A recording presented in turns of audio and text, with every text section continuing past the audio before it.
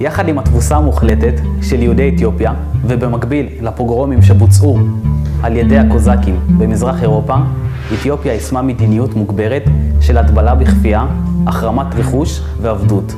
הרבה מאוד כתבי קודש וכתבי מסורת הושמדו לאבדון. זוהי תקופה המיוחסת לשינוי הלשוני שעברו יהודי ביתא ישראל, מעברית לשפת הגז. האיחוד של מחוזות אתיופיה למדינה אחת במאה ה-19 אפשרו למיסיונרים אירופאים לקיים מסע המרה המוני אל שארית קהילת יהודי ביתא ישראל.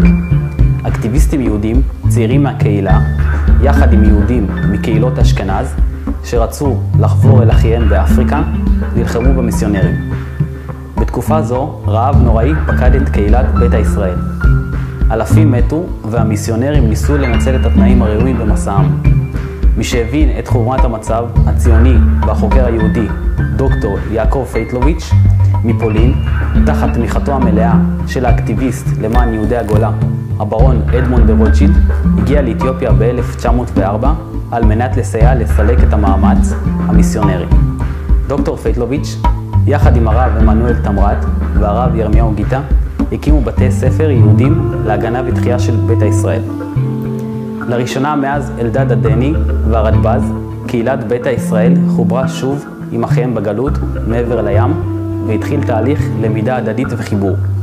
כתוצאה מכך, מעבודתו המחקרית של דוקטור פייטלוביץ', יותר מ-45 רבנים ראשיים תמכו בגילוי בקהילה, כולל הרב קוק, הרב האשכנזי הראשון לישראל.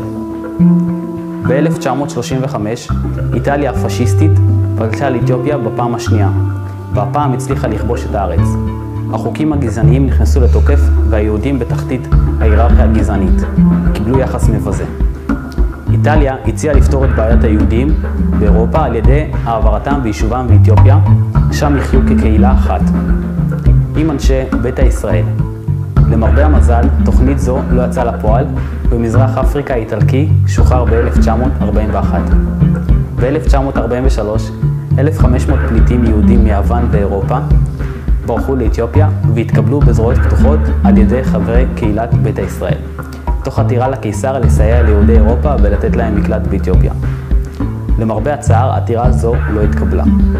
כשמדינת ישראל הוקמה מחדש בשנת 1948 והותקפה על ידי שמונה צבאות ערב, הנהגת ביתא ישראל הכריזה על 48 שעות צום, ויותר מ-2,300 יהודים צעדו במשך 20 יום מכפריהם אל בירת אתיופיה, בתקווה להגיע לישראל ולהצטרף למאבק על ריבונות יהודית.